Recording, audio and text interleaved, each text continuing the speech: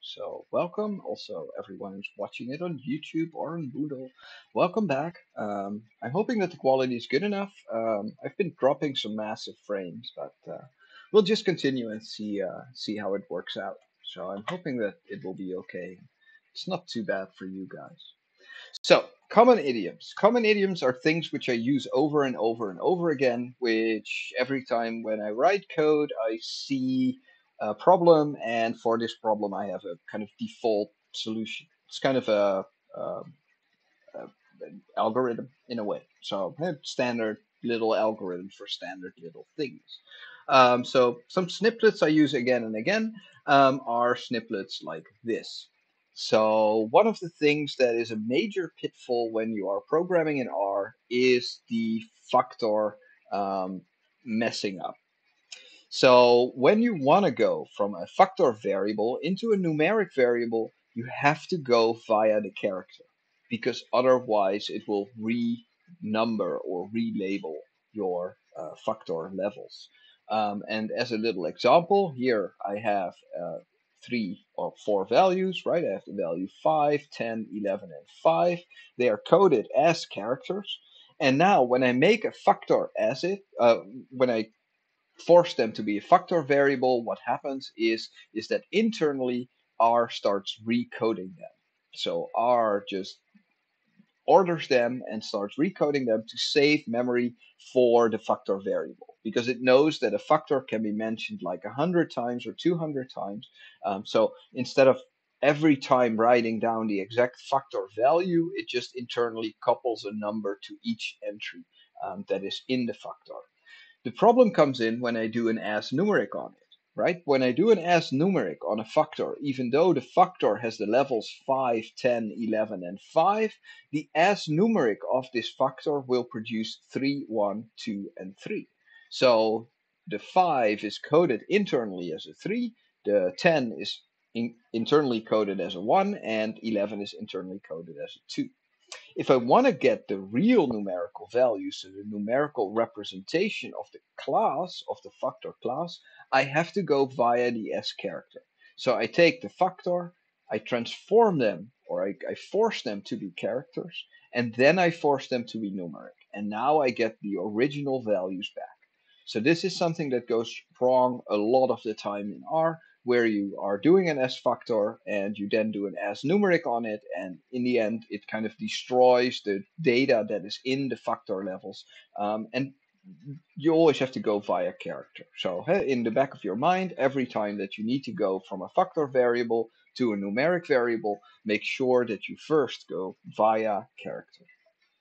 And this is just useful advice. And a lot of code that I write has this as numeric as fact, uh, as numeric as character, and then a factor as input, just to prevent it relabeling them as 3, 1, 2, and 3 um, internally.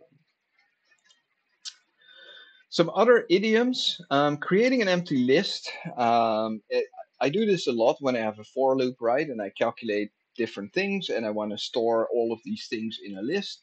Um, so for example, I'm going through the rows of the matrix and for each row I calculate three or four values, which I then want to return in a list. Um, if I want to make an empty list, then for some weird reason, you have to use the vector function. So the function is not called list, the function is called vector. Then you have to specify that you want to have a list and then the amount of space in your list. So, for example, five spaces.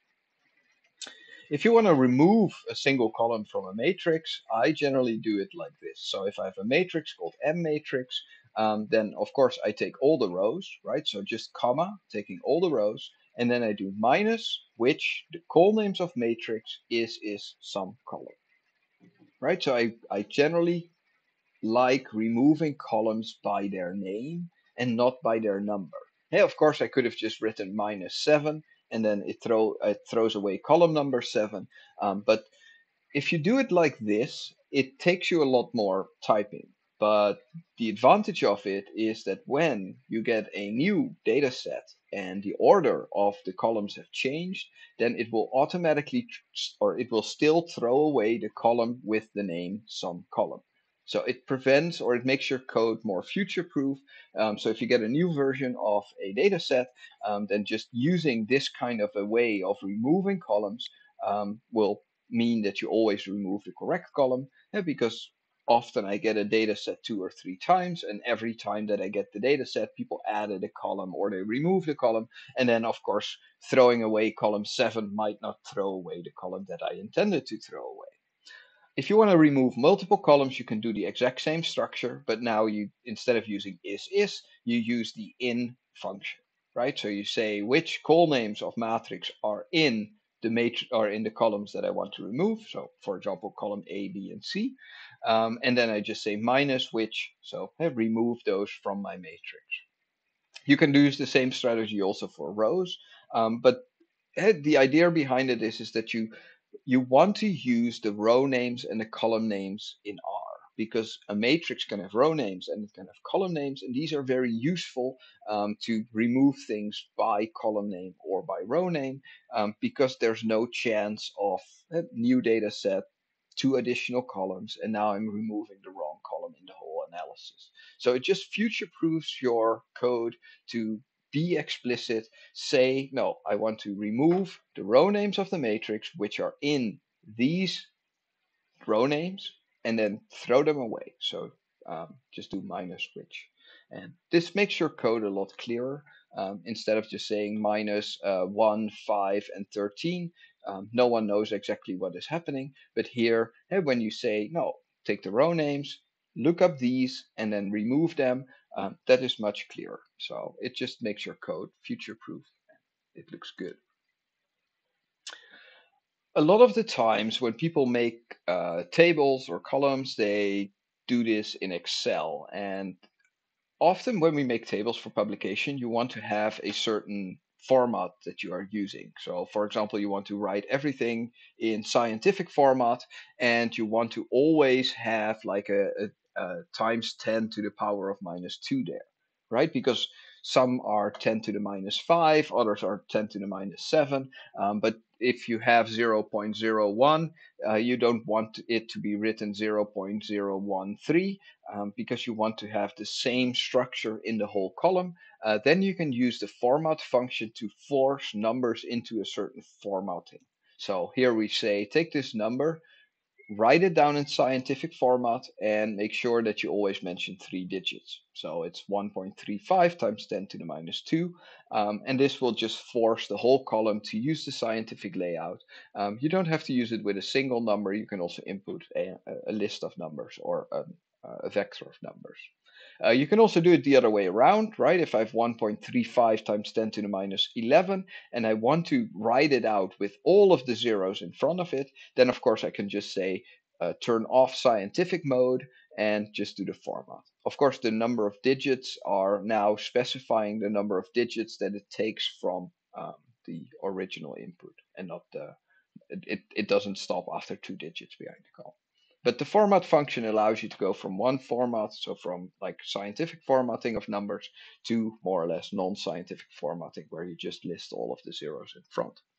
Uh, so just a useful tip, the format function is there. Um, it has more options as well, um, so you can just check it out um, using question mark format in R, and then you get the help file. And it shows you all kinds of different formattings that you can do.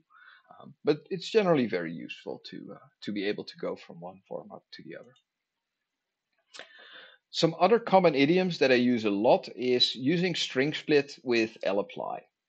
So, and this is something that we will see a lot also next week during the fishy data analysis because um, I like chopping up things in little pieces and then selecting from these little pieces, right? So, for example, imagine that I have a vector which has three dates in there, right? So it's the 3rd of January 2020, the 1st of uh, March uh, 1995, and then the 20th of January. Oh, so the, they're the other way around. They're month, day, year.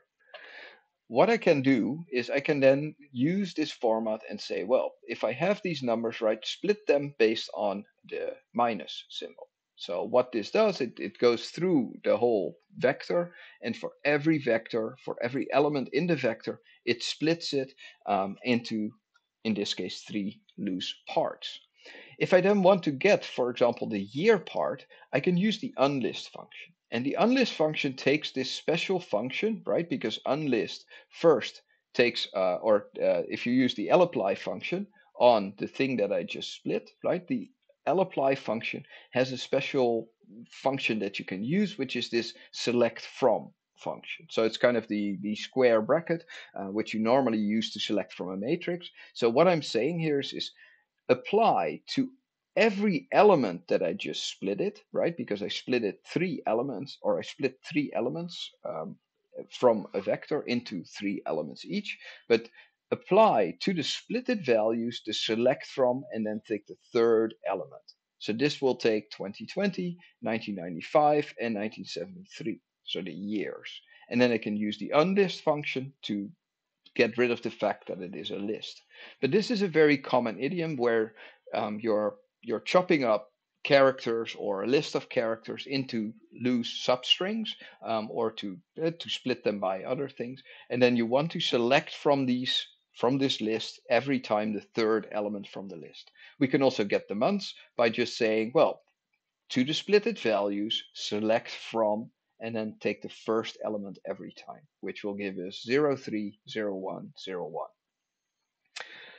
we can also use um, so um, grep logical is a way to do partial string matching. So if I want to see if the string 20 occurs into any of these um, strings, right, then I can do grepl 20 s vector. And grepl will say, well, true for the first one, because we see 20 here. For the second one, it will say false, because there is no 20. But for the third one, it will say true again. Why? Because the day here is 20. So it will it will match to zero to the string, and if it occurs, it will return true. If it doesn't occur, it will return false. Um, if we don't want to have a true false vector, um, then we can of course say which, and then it will say 1, comma 3, because the first element contains 20 and the third element also contains 20. You can also directly use the grep function. So the grep is um, the same but it's just the which grepl. Um, so it's just a convenience function. Uh, is just a logical vector, so it tells you true, false, true, um, and grep will just tell you one and three. So it is the exact same thing. Instead of using which grepl, you can directly use grep, um, and it will be the same answer. So it's uh, just a way of of asking the question: Is this number or is this sequence of characters anywhere in this um, list of things that we are looking at. Um, so the grep function really useful when you want to do subsets or when people are very smart and they try to encode things into column names or in row names, which you should actually never do. But if if you sometimes people do, right? We we used, for example, the mouse ID underscore HT for hypothalamus, mouse ID underscore GF for gonadal fat. Um, so then you could use the grep function with HT to see which of these kind of combined IDs are measured on hypothalamus. Uh, so the grep function is really, really useful when you want to do string matching, uh, when you want to see if one string partially occurs or uh, if part of this, this string contains the letters that you are looking for to combine this a little bit, this is more or less the function that I use a lot when I want to go to seasons. Um, and that is because in linear modeling, you often want to control for seasons and not so much for months, right? Because there's no real difference between January and February. Um, but spring might be very different from summer. Um, so if you're on the northern hemisphere, then this is the way that spring, summer, fall, and winter are coded. Um, so the thing is that my two season function is a function which has a single parameter as input, which is called x, which is the vector of dates that is being inputted. And then it has pos, and pos is where are the uh, uh, the months right? Because I need to know if the months, if it's month, year, day, or if it's day, month, year. I just went offline. That is strange. That is strange. Let me see. Yeah, no, connection dropped completely. Frames missed due to rendering lag.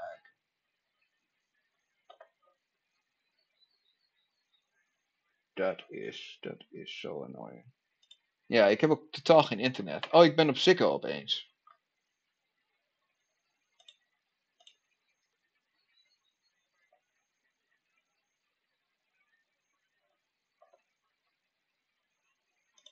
Alright. Am I still here? No? Help! No! Twitch!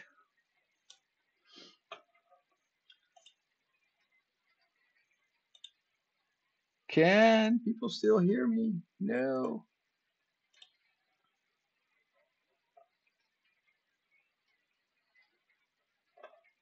Um,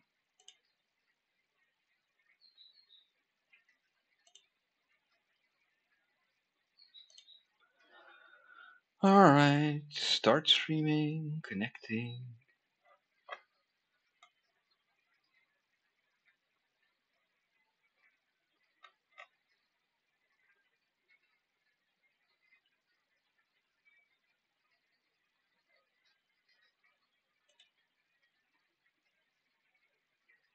I'm back or not?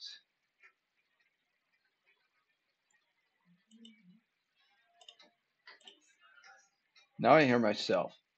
Anyone in chat? Am I still here? Yes. Oh, good. Yay! I had some internet issues. It just said, oh, massive drop of frames, reconnecting, reconnecting. Okay, good. I'm still there. Good, good, good. All right. Uh, yeah, so let's just continue. So this is the way that I, now I'm watching myself, which is also a little bit weird, and I'm listening to myself as well. Uh, so and the way that I go from from seasons to months, uh, or from months to seasons, is just having this function which will just take a list or a vector of dates, um, and then I will tell it that position one, position two is because I can have day, month, year, or month, day, year. Um, and then I can just specify on which position the months are in the in the vector. Um, and the way that I do it is just say, well, hey, use this string split, lapply, select from the position, so take the first, the second, or the third, um, and then unlist them and then make them numeric. Because when I have numeric months, I can compare them. Um, and what I do is I, I first make a empty return element. So I say return is a repeat of the NA for as many months that I have, so the length of months. So if I have three input items, it will return three output items. Um, and then I say, well, when the month is larger than three or smaller than five, then it's spring, and the same for all the other ones. And I use this a lot because often in linear modeling, you want to include the, the season um, because that is the thing that has an effect the, the effect is not being born in January or being born in February. No, there's generally for mice or plants, there's a big difference if they are planted in spring or if they are planted in the fall or in, in the winter. Um, so generally, you, you don't want to put in 12 factors, 12 months as factor, but you want to input four seasons as a factor. It also gives you more statistical power because in, instead of calculating 11 betas for each month. So relative to January, you're now just calculating three betas relative to spring. Um, so it gives you more statistical power as well to use seasons instead of using months. If you want to calculate with dates and you don't want to do string splitting, there's also this as date function in R. So that will do kind of the conversion for you. Um, you just give it a single string which has a date encoded in it, and then you can specify the format saying that, well, I have months, I have days, and then I have years, and the year uh, here is capitalized, meaning that it uses the long format for a year. Because you could also just write 070920, um, and then you would have used year with a small letter. So then you would have used small uh, a small y. Um, if you have two date objects, you can now do mathematics with them. So you can just subtract them from each other, and then it will tell you the amount of days between the two different dates that were passed. And of course, you can also then say, well, how many months or years are between two days. So um, you can convert dates to real date objects. So R internally also has a date structure, um, which is different from a character or a factor. Um, and if you use as date, it also allows you to make nicer plots because it knows that you have different dates. So instead of using one, two, three, four and plot them all behind each other, it can kind of do a time scale on the x-axis when the x-axis uh, or the values of the x-axis specified are date values. Um, then it will use the date and it will calculate the distance between the dates properly instead of just saying, well, one, two, three, four, five, and just putting the points like that. Dates also work with the seq function. So I can also say um, have today which I can get by uh, sys.date. Um, so here I get the current date from the R system, um, and then I can make a sequence from today. Um, length out is 10, so so go 10 steps from today, um, and every time step by one week. So then it will give you the date. So it will tell you today is the 8th of July, um, next week is the 15th of July, and then the week afterwards is the 22nd of July. So hey, it will it will it, you can make your own sequences. Um, for example, if you have measured mice or if you have measured plants on certain dates of the year, or if you're going to do measurements every week.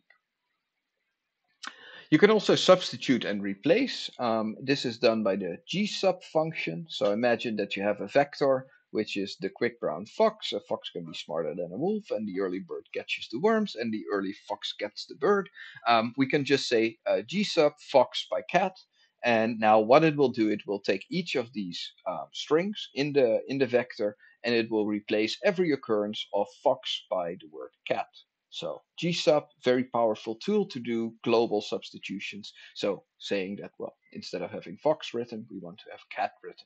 So it's very, very common to do um, to kind of quickly modify um, your input data. And I used it also in the fishy data set um, because there, for example, in some years they coded some fish species using the uh, SZ, um, and in some other years it was just written down with uh, SS right? So then you can say uh, g sub ss by uh, uh, or g sub sz by ss. So to just make sure that it's consistent between the different years and the different measurements that they've done.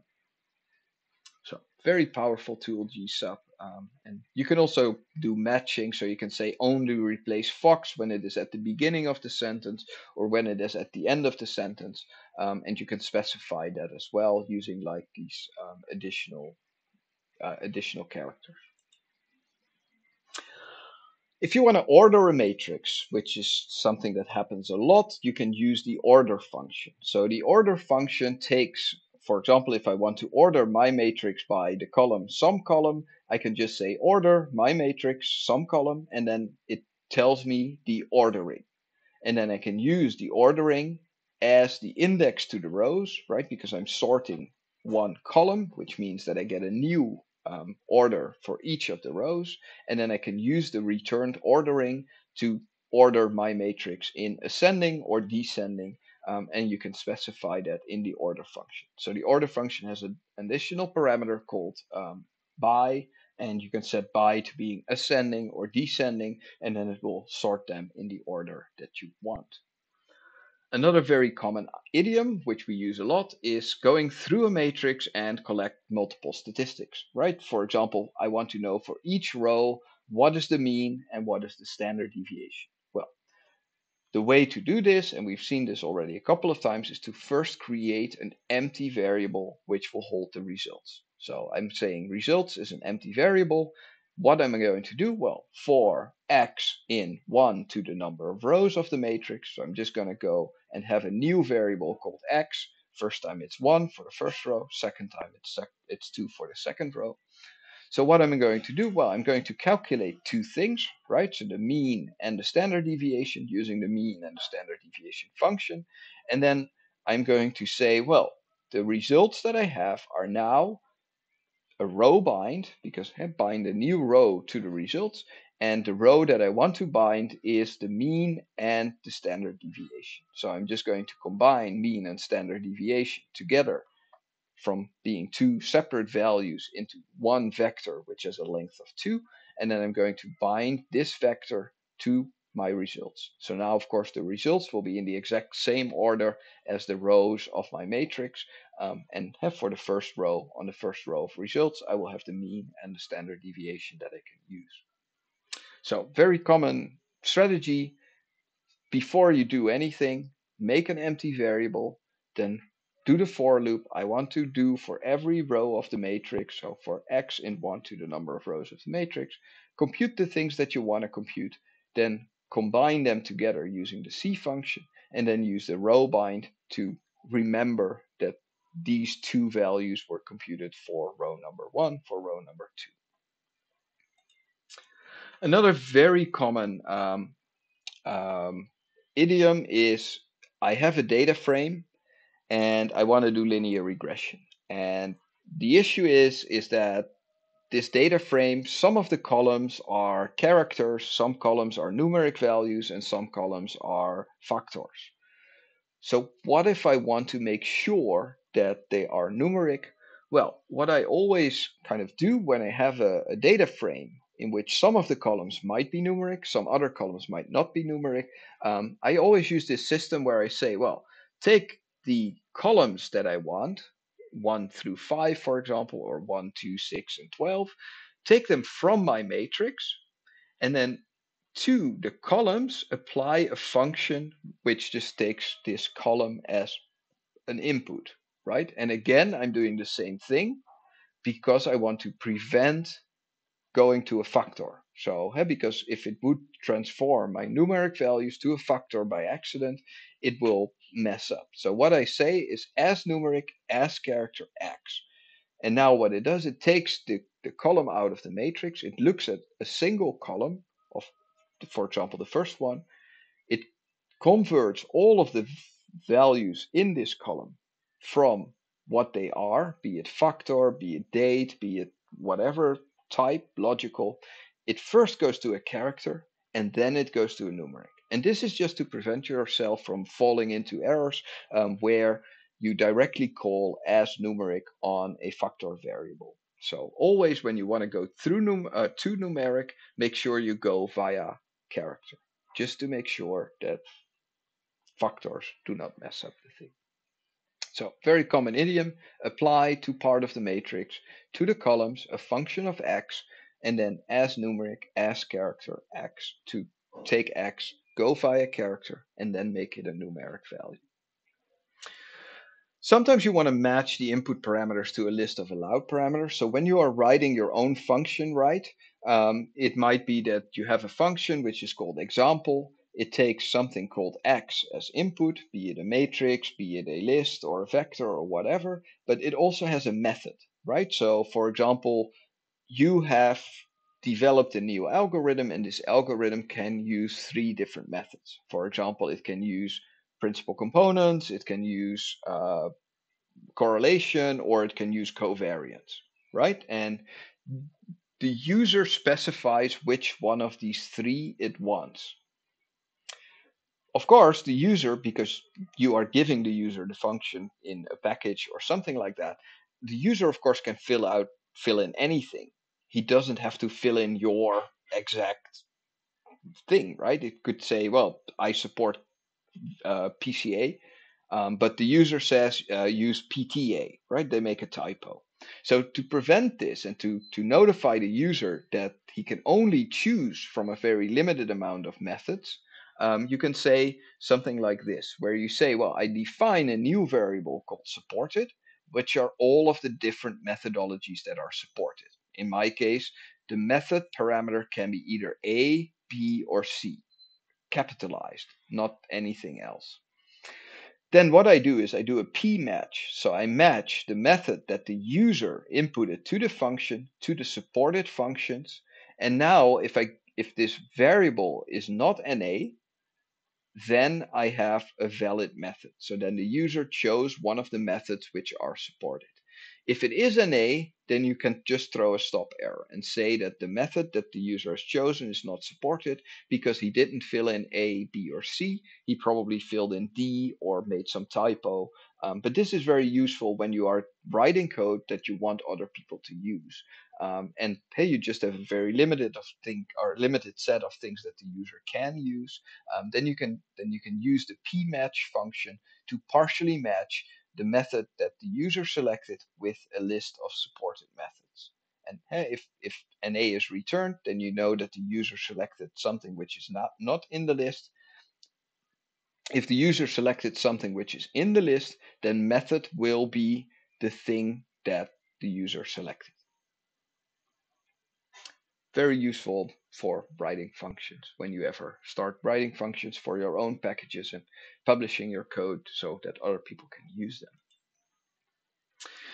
Another very common idiom is when you write a function and your function returns something, then the return value of a function is just scrolled across the screen, right? Because the same thing when I type the name of a variable, it will just start rolling the thing across the screen often a lot of functions they have a massive return right? In in this case what i'm doing is i'm just making a little example function. It takes a number as input and the only thing that this does is that it repeats this thing what the user inputted like a million of times.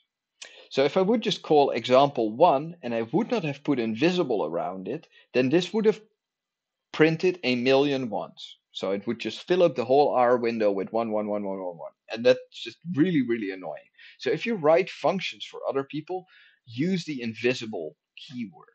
What happens is, is when you type example one, it will not start rolling a million ones across the screen. It will just kind of eat the output. It will still generate the output. You can still put the output in a variable like this. And when you type the name of the variable, you still see a million ones. But at least when you call the function and you forget to put the result in a variable, it will not start scrolling everything across the screen, um, which is really, really annoying. Um, and uh, using invisible prevents this massive amount of output spam from a function just because I forgot to store the result in a variable. All right, I wanted to have a little bit of a different kind of common idiom, which is something that you will use a lot. Um, and I want to show you how you can do R scripts from the command line. So we already use the command line when we build our own package. Um, yeah, so you then do R cmd check name of your package um, in the in the command line. Um, but you can use R via the command line. And using R via the command line has certain massive advantages. One of the advantages is, is that you can then run your scripts on an external server or on an external cluster um, using things like um, Secure Shell. So you, you're not limited to only using your own computer. Hey, you can write a script, you can then copy the script to a, a, remote server or to a remote cluster and then copy the data there as well. And then you can run your script there directly via the command line. Um, and this helps you to um, use external hardware um, in case that you don't have the hardware that you need at home. If I do sequencing analysis, then I have to use our, our server because the laptop that I'm using is not going to be good enough. So the thing what you do is you make your whole analysis in a script. So a single text document which starts off by setting the working directory, then loading up the input files. Um, but of course, because it is a script, it might be that the input files or that you that you want to run it like five times because I have five different input files or I have three different input files or a hundred, right? So I write the script and then I then I just assume that the name of the input file is going to be in a variable. So that's the way that I write it. So I just define an empty variable um, or at, at the beginning of my script saying, this is the name of the file that I need to load in and do the analysis on. So to be able to then fill in this kind of magical variable, which file do I need to do the analysis on, you can then use command line parameters. So we'll see an example about this soon. The only thing that I want to kind of make sure that when you start writing scripts, so an analysis script which you are going to run via the command line, you need to always end with a quit no at the end. Because otherwise, it will run through all the commands that you did, it will reach the end of the script, and it will just stay there. Because it has no, it, it won't quit R automatically. So you as a user have to tell R to quit at the end of the script. So, hey, you write your whole script. So you load in your file, you do your analysis, you write your output, and then the last line of the script ends in a quit statement. So using the Q function to quit, and then this function needs to know if it needs to save the workspace. So we never save the workspace, so we just say quit and then no.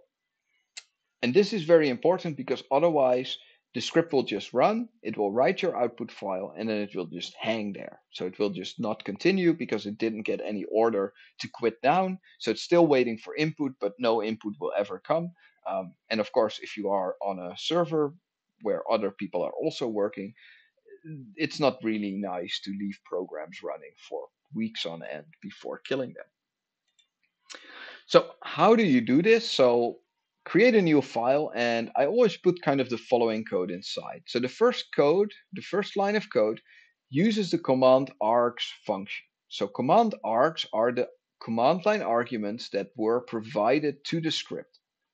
And here I first check if I get at least one command line argument back. Because if I don't get any arguments, then I do not know what, for example, the name is of the file that I have to start analyzing right? So I always want at least one argument to my script. And if this is not the case, I have to quit, right? Always quit the script as soon as possible because otherwise R will just continue there and it will just do a stop error, but it will never quit the R session. So make sure that you quit your script when there is an error. So I can use command args and then I get a new variable called command line arguments and I assign it to it. If the length of this thing is more than one, then I'm just going to select the first one. I'm going to say as character, and then this is my arg1. So this is my first argument that was given to the script. And generally the first argument that you want to give to the script is the name of the file that you're going to analyze, right? So then I would have here uh, normally a read table arg1 um, or read comma separated file arg1 and then call that my data and then the rest of the script would just be analyzing m data calculating some statistics and then writing it out um, here i'm just going to write the argument to the screen and then i'm going to quit the script because that's what i should do i cannot leave r running just because i don't want to quit it at this point so then I open up the terminal, right? And I go, for example, to where I have stored my script. And then the thing that I'm doing is just saying R script, my R, my script.r. So this is the R file that I just created. And then here I give the parameter. So in this case, I just say something, uh, but this would normally be, um, for example, dataset1.txt. And then the next time that you're going to call it, you're going to call R script, my script, dataset2.csv, right? And in this way, I can have R running in parallel on the same server like 20 times, and every time the same script analyzes a slightly different file. So, for example, if I think about mice, um, have mice have 20 chromosomes, so I might have a script which analyzes a single chromosome, and I just call this script 20 times on the server, every time saying R script my script that I want to execute, chromosome1.txt. My script, chromosome2.txt, right? And then it will just start up the script. And even if the script runs for like an hour or two, um, it will just do all 20 of them in parallel. So instead of waiting 20 times two hours, I now wait only two hours in total because it does 20 uh, chromosomes next to each other automatically. So move where your script is stored using cd, so change directory, and then you can execute your script by just typing R script the name of the script that you created, and then the name of the thing that you want to analyze. And generally, the name of the thing that you want to analyze is something like mydata1.txt or chromosome1.vcf or just the input file. So that, that's a very common structure on how to use the command line to run R multiple times next to each other um, so that instead of having to do it in a for loop, yeah, you can do chromosome 1, chromosome 2, and chromosome 3 next to each other in parallel and be done three times as fast as if you would go in a for loop one after another. Of course, when we are dealing with building up these command line scripts, we also want to execute external programs, or a lot of the time we need to ex execute external programs. For example, a whole bunch of next generation sequencing tools um, are not available for R. They are available as command line tools. The same thing holds when you think about GWAS programs. Um, a lot of GWAS programs are only available as standalone executables. For example, Plink um, or other tools. Um, you, you, have a massive amount of tools which are not available directly in R, but available via the command line. Um, and so, for example, next generation sequencing data, um, generally there's a lot of different tools involved. So you need an aligner, you need like things to check data, you need to convert, and, and so there's a whole bunch of steps that need to go in order. Um, and every time you need to use an external program to do that. The same thing when you're analyzing image files. Have, for example, if you have microarray data and had the microarray data, you didn't get the CEL files, but you got the original kind of TIFF files, and then you have to go through all of the different photos of the different microarrays and for each of these extract the data from uh, the microarray and put it in a CSV file. Eh, and eh, there's a lot of command line tools which are not directly available in R, so something like BLAST or uh, Clustal Omega or the variant effect predictor. And, and, there's literally hundreds and hundreds of tools which are available, which you can only run via the command line. So how do you do that in R? Well, this is something that I always use. So this is my execute function. And the execute function is nothing more than a wrapper around the function called system. So the main workhorse here is the system function. But I always want to have additional um, safeguards in a way because the system doesn't automatically quit when there's an error. And I do want to quit because often when I'm running a pipeline, I call different tools.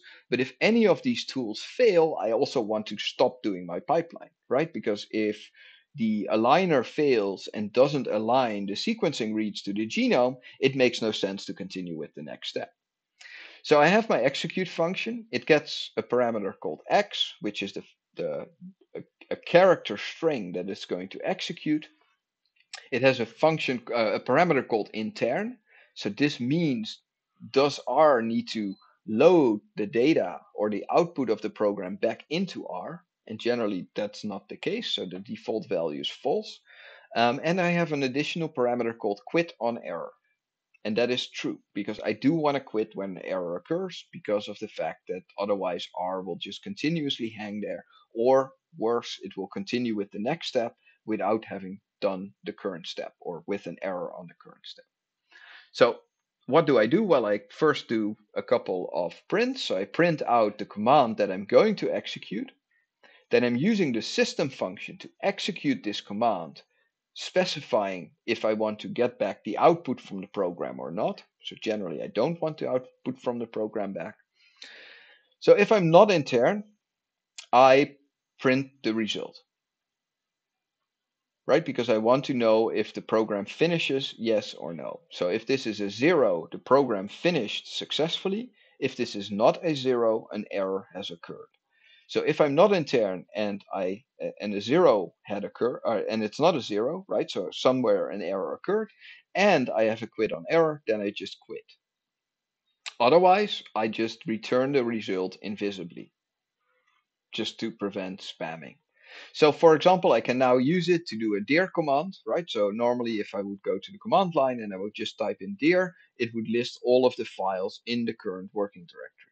So I can do the same thing now from R. So I can say execute dir. This will not show me anything because of the invisible. However, when I execute dir and say don't do, eh, do it internally. So so give me back the thing that it that it tells me. Um, then I can now store it in a variable. But often I use it like this. So I can eh, often I just call I use the execute function to, for example, go through a list of files and then execute the R script, my script, with an additional parameter. So this will 10 times call an external program. The external program that I'm calling in this case is R. So I'm having an R script calling R externally, specifying that this external R script needs to run my script.r, and then the input parameter is x, which in this case is 1, the second time. And so this will, in very quick succession, just fire up 10 R instances, and every instance will be able to analyze their own part of the data. So this is this is something that I use very very very much. I use this a lot to execute external programs like BLAST or the VEP or other tools in biology where there's no direct R equivalent of the tool, so you have to use the command line um, to execute other tools that do support the function that you want. All right, so that was it for today. So today we talked a little bit about common idioms, like how do I use lapply, um, grep, gsub, executing external commands. Uh, we talked about logistic regression and about GLMs, which is just the same as doing an LM, but where the response variable is different. So, for example, a binary outcome saying healthy or sick, um, or affected, unaffected. Um, and besides that, of course, the GLM model allows you to use a lot of different um, a lot of different distributions. So it doesn't have to be just binomial. It can also be like uh, Poisson distribution or quasi-Poisson. So R supports, I think, around 12 different distributions. Um, some of these distributions you can even tweak. You can give additional parameters saying, well, it's a Gaussian distribution, but it's a little bit platykurtic or it's a little bit leptokurtic.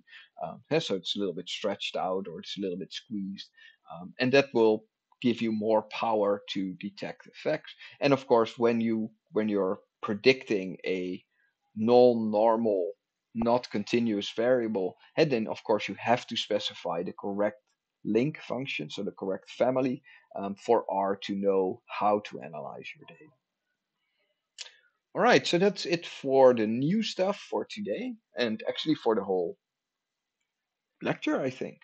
We will have fishy data next week, but there won't be any really new stuff because I'm just going to use all of the things that we've been talking about for the last 11 lectures to analyze the fishy data. Although I am using 3D matrices in the fishy data. So that might be interesting for next week for you guys to show how you can use uh, more than two dimensions. Like normally when you think about a matrix, eh, then you think about having a two-dimensional structure, which having rows and columns. Um, but in R, you can also make three-dimensional or four-dimensional matrices. Um, so a three-dimensional matrix would be a cube where you have like a depth, a width, and a, and a, a third dimension. Um, but you can also make four-dimensional cubes, um, and that helps a lot when you want to kind of get a handle on data which has many different dimensions. Um, and hey, you don't want to write for every dimension the same function. Um, but that's about it. So that was more or less the course. Um, I will do a short break, and after the break, I will go through all of the lectures one by one and highlight what I think is important so that you guys can uh, study more um, targeted for the exam. All right, so then see you guys in seven, eight minutes. So we'll continue at 4 p.m., 4.05 p.m. And um, if there's no questions so far, then we'll go to the second break, which should be goats, I think. Again, I think we already did goat, goats recently, but I just like the animated GIFs. All right, so then see you guys in like 10 minutes and enjoy the animated GIFs.